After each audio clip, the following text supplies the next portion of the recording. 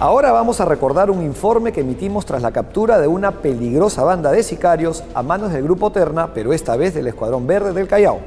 En aquella oportunidad, una vez más, nuestro equipo de investigación obtuvo exclusivas y reveladoras imágenes que evidenciaban la retorcida mente criminal que tenían estos avesados delincuentes. Estas son las impactantes imágenes que emitimos en Alto al Crimen. Un colaborador anónimo nos hizo llegar una serie de fotos y videos que mostraban el altísimo nivel de peligrosidad de esta banda de delincuentes del Callao. Se hacían llamar los injertos de Tarapacá y todo indica que se dedicaban al sicariato. que mató mi causa. Casa no abren, causa. Bien, Huevo, mano. creo que mató mi causa. Estamos en un descampado.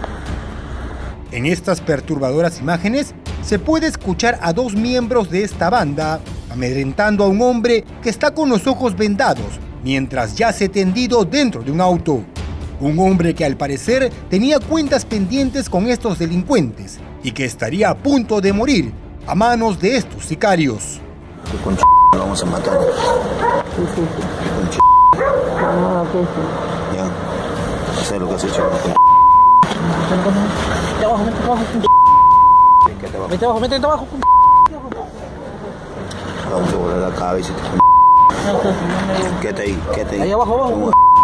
La voz que lo amenaza constantemente pertenecería a José Guido Quevedo Prado, de 43 años, quien sería el cabecilla de los injertos de Tarapacá, un sujeto que no tendría el menor escrúpulo en mancharse las manos de sangre por un puñado de dinero. Con con madre. En tanto, la segunda voz que se escucha sería la de Leonardo Ruiz Montenegro, otro de los integrantes de esta despiadada organización criminal. Casa no abren, causa. En estos videos exclusivos, en los que se ven los momentos previos y posteriores a un presunto asesinato, se puede apreciar la crueldad y frialdad de José Quevedo, un hombre que se jactaba de poseer potentes armas de fuego y que solía presumir su peligrosidad con el objetivo de seguir haciéndose de un nombre en el mundo del sicariato. Mira, toda la coca. Todo estará bien. Todo se lo va a meter. Todo para su cabeza de ella. En varias fotos y videos aparece acompañado de jóvenes mujeres con quienes solía divertirse.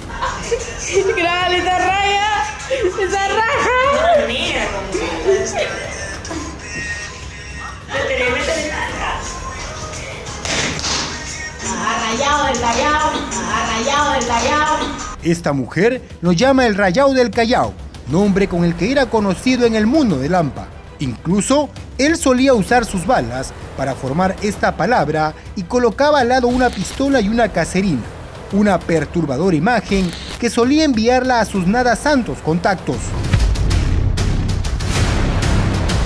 Este sujeto además tenía una particular fascinación por grabar a sus pupilos en pleno acto sexual y de filmar a mujeres en la intimidad.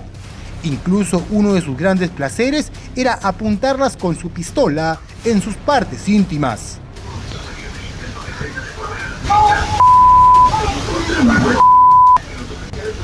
A a ver, ahí. Soy maldito, soy maldito. Pero en uno de esos videos, José Guido Quevedo Prado muestra los rostros de todos los miembros de su banda.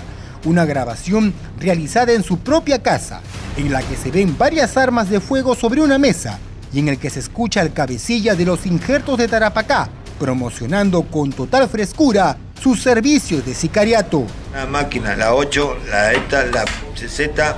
El enano tiene una Parabellum. El negro ese feo que está allá también tiene una. Así que estamos activados. Ese negro, César Tábara. Así que estamos activados, penero. ¿Sabes qué, Luisito? Es mi causa, mano. Y ya, pero tú eres mi, tú eres mi sol y mano, de toda la vida. Así que cualquier cosa, mano, cuenta con nosotros, pero Llámanos, mano, y al toque nomás pegamos en una, pe Luis. Ya, mano, acá está mi causa también, causa Jaro, mano. También, también tiene su batería, mano. Él también lleva en su barrio, mano. El primero que aparece en el video, a quien llama el enano, es un menor de 16 años, que es el miembro más joven de esta temible organización criminal. Luego aparece Leonardo Miguel Ruiz Montenegro de 28, un sujeto que tiene antecedentes por homicidio calificado y sobre el que pesaba una orden de captura emitida por un juzgado penal por tentativa de homicidio. Y el último al que presenta es Harold Stinar Farroñay Benítez, de 21 años, una de sus piezas clave en la peligrosa zona de Tarapacá, en el Callao. A mi hermano, entonces sabe que cuenta con nosotros, pe causa. Este hermano te dio mano ya, ya, ya tú lo borras, pegón. Así que en todas, pe, en play.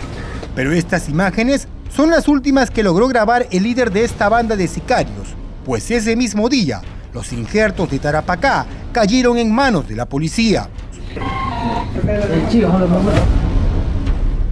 Durante el registro personal a los miembros de los injertos de Tarapacá, se les encontró en su poder dos pistolas, un revólver, municiones, 39 quinzais de clorhidrato de cocaína y dos pacos de marihuana.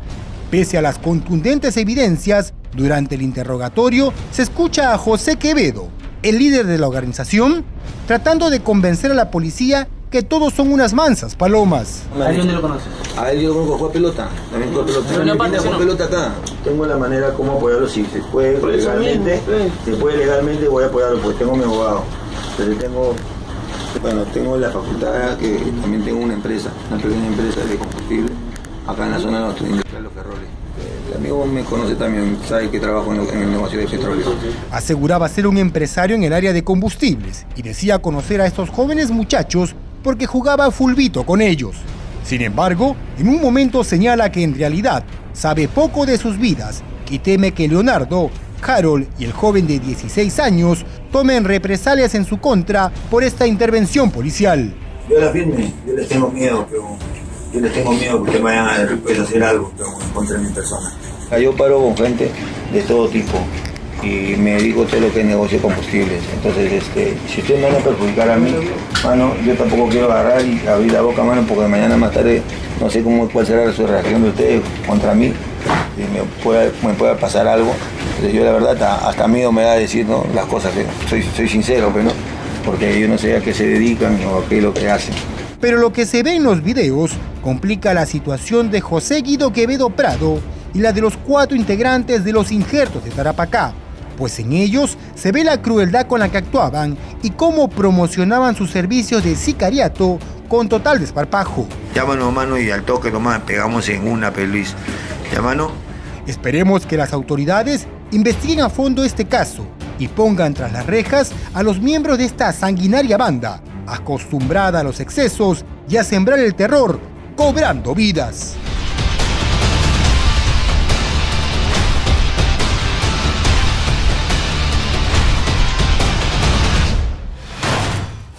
Estas imágenes realmente fueron impactantes, pero afortunadamente el accionar de estos sicarios llegó a su fin gracias a una efectiva operación policial de los agentes Terna del Escuadrón Verde del Callao.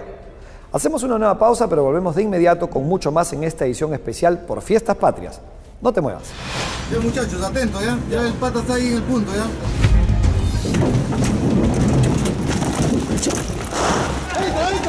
Pese a que tuvo en sus manos la seguridad de muchos de sus vecinos, eligió cruzar la línea y convertirse en un vulgar delincuente. Pusimos al descubierto la doble vida del Diego. ¡Vecino!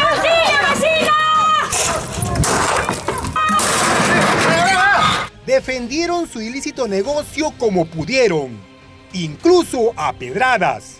Aquella vez, junto a la policía, nos tocó enfrentar la furia del clan Pechón. Completo. Estamos buenas, mejor.